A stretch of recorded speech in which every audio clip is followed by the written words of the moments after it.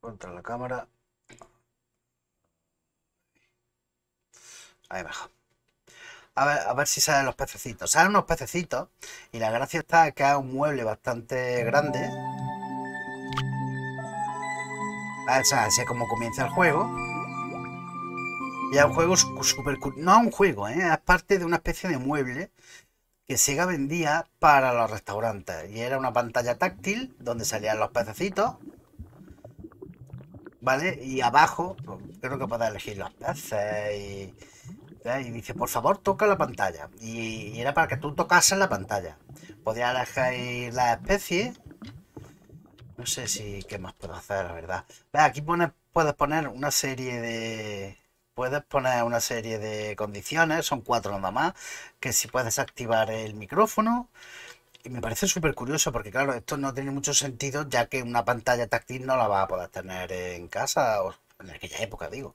Hoy en día pues sí la puedas tener, pero tampoco será compatible con, con, con Dreamcast. Es posible que no lo sea, a no ser que tenga una conexión, no sé, no sé, no sé cómo iba a transmitir ¿no? los, datos del toque de pantalla a la, a la Dreamcast.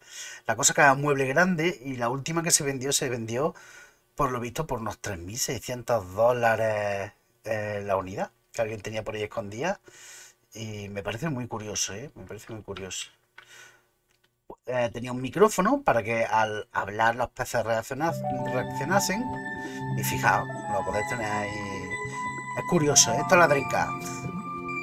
Pone la vida de los peces en, en la Amazonia y ya está. Esto es, eh, esto es.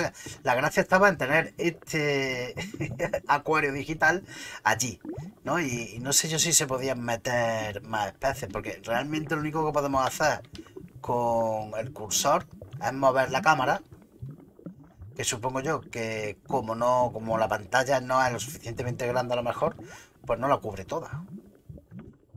Y aquí lo tenemos, aquí lo tenemos.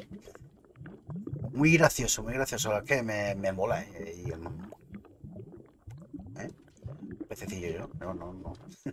mola mucho, mola mucho. O sea, que Sega era muy loca. Eh, estaba muy, estaba muy zumbada. ¿eh? Como modelo de negocio, no sé yo si esto iba a triunfar, pero como molar, mola. Porque imagínate tener todo el día encendida una Dreamcast eh, el aparato ahí en la entrada del restaurante, que los niños llegaran para que toque la pantalla, además te invitaban a que te tocase la pantalla, pues mola mucho. Lo que yo no sé cómo cambiar las especies ni los colores, porque hemos visto al principio que se podía cambiar, pero no sé yo.